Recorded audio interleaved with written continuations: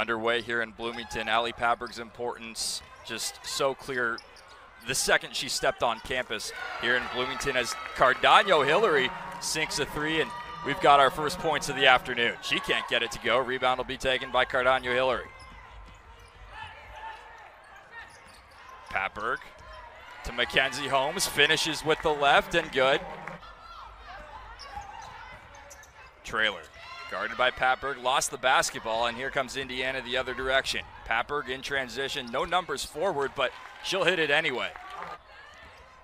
Ali Patberg perhaps playing in her final game in an Indiana uniform in Bloomington. Meanwhile, they'll feed Gulbe inside and Aleksa Gulbe. Dion trying to back down in the paint.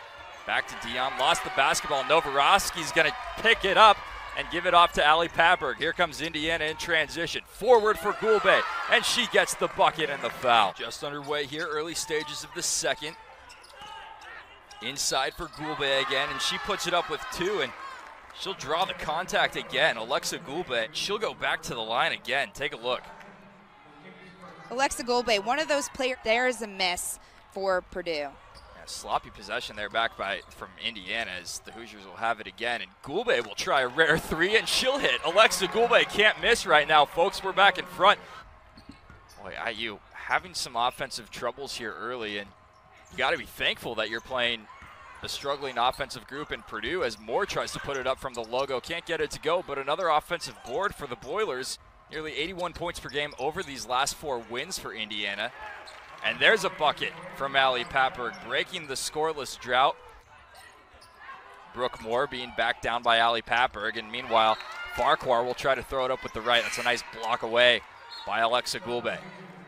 To the floor for Gulbe as we take a look again at Gulbe's block out of bounds. Honored on senior day for Purdue.